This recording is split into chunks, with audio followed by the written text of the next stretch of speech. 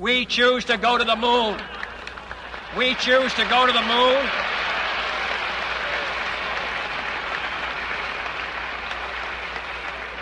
We choose to go to the moon in this decade and do the other things, not because they are easy, but because they are hard. Nearly 60 years to the day that President Kennedy declared America would fly astronauts to the moon, NASA is once again preparing to do exactly that. The excitement level is really off the charts right now. Um, everyone is is getting ready, last minute details and preparations for Monday morning, and um, we we can't wait. Artemis 1 will launch early Monday morning from Cape Canaveral, Florida, atop Launch Pad 39B, the same pad where Apollo 10 and 53 space shuttle missions began, which is appropriate considering the rocket has a large number of repurposed shuttle parts. David probably knows that better than anyone. He's the Orion production chief engineer for Sacramento based Aerojet Rocketdyne, and from the very bottom of the rocket to the very top, Aerojet Rocketdyne has their name all over Artemis. Picture that rocket in your head sitting at the pad at the very base. Uh, there are four liquid engines. Those are the RS-25s. Um, I think, as you as you may know, or some of the, the, viewers may know, these were the space shuttle main engines. So there used to be three of these on the base of each space shuttle. Uh, there are now four of these hanging off the bottom of the SLS rocket. Uh, the particular engines were, that we're going to fly on Artemis 1 have actually been uh, flown previously on space shuttle missions.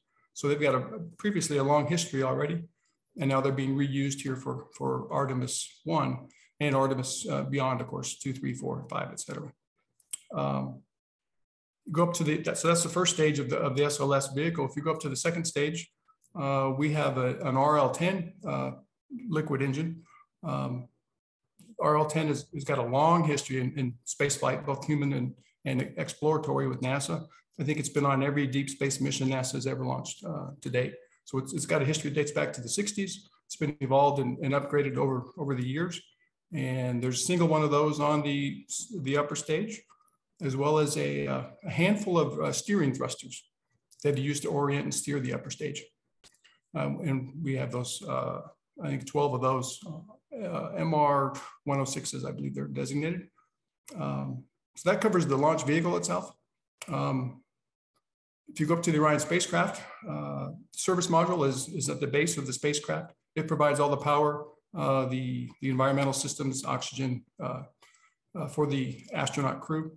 Um, the main engine for that service module is actually a repurposed shuttle OMS engine. And so if you picture the space shuttle again, there were two smaller engines hanging off either side of the space shuttle. And, and those engines were used for maneuvering out in, space. Those engines originally designed and developed, qualified right here in Sacramento back in the 70s and the 80s. Uh, they are now being repurposed uh, for service uh, or for use as the main engine on the service module. So that would be the engine that, that drives the, the space capsule all the way to its destination and then back to Earth. Uh, in addition to that, we've got another um, eight auxiliary engines, R4Ds. These are noted as um, these are used for uh, backup propulsion in case there's a problem with the main engine, you know, more steering of, of the spacecraft itself. And then when the capsule reenters, uh, the service module is, is jettisoned off. So now the crew capsule is coming in for reentry. We have a series of eight steering thrusters embedded in the capsule, and they give you pitch, yaw, and roll control for the capsule to get oriented properly for reentry. Now, on top of all that, you've got the launch abort system. Uh, its purpose is to pull that crew module off of the uh, rocket if there's an emergency, either on the pad or up until the second stage of the, of the core vehicle ignites. Uh, that's a three uh, solid rocket motor system. We have the jettison motor. Um, that's, again, developed, designed, qualified right here in Sacramento. And so the motor that will fly there was originally built here in I think 2019 and delivered to, to Lockheed Martin. So there may be some folks, you know, out listening today who participated in that effort. You know, that was a pretty significant effort for us to go build those those motors. Um, its purpose, the jettison motor, it's designed to pull that launch abort stack off of the crew module, uh, whether it's an abort flight or a nominal flight. So it, it pulls the whole system off. And for Artemis 1, since there's no crew on board, the, the other abort motor, uh, abort motors on the launch abort stack are inert. They're just kind of going along for the ride. But obviously the jettison motor is a live motor. It has to pull that stack off. Otherwise the, the test uh, in and of itself would be, would be lost. While in lunar orbit, Artemis 1 will travel further from Earth than any rocket intended for humans, breaking the record set by the astronauts of the ill fated Apollo 13. And although it is uncrewed, except for a dummy nicknamed Moonikin Campos after an Apollo 13 engineer, it is the test flight for Artemis 2, which is planned for 2024, and that flight will carry humans into lunar orbit. Artemis 3 will land astronauts back on the moon for the first time since 1972, and eventually beyond um, Apollo, you know, they they were groundbreakers. They got there.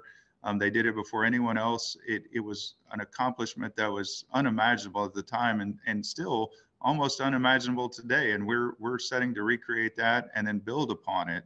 Um, that we can take um, humans, build that presence there on the lunar surface, um, and, and expand the availability of that, that space mission to, to all walks of life um, across um, our, our country and across the world. Um, we're we're going to put the first woman into on the moon. Um, we're going to put the first persons of color on the moon. It's going to be. Um, um, I think it's a milestone that we can all share in worldwide. Really, this time, the Artemis mission's goal is to put humans into space with a sustained lunar presence. Um, and ultimately build up hopefully one day to a sustained Martian presence. And you know, the sky is not the limit, maybe beyond that.